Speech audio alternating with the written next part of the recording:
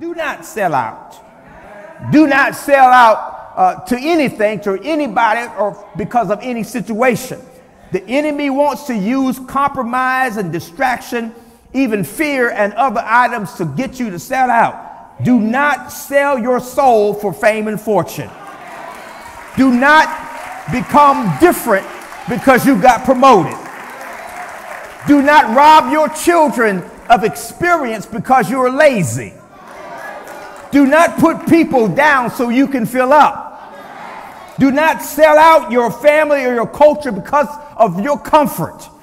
Tell your neighbor, say, don't sell out, don't sell out. You can't be a sellout. You got to stand, you got to be strong.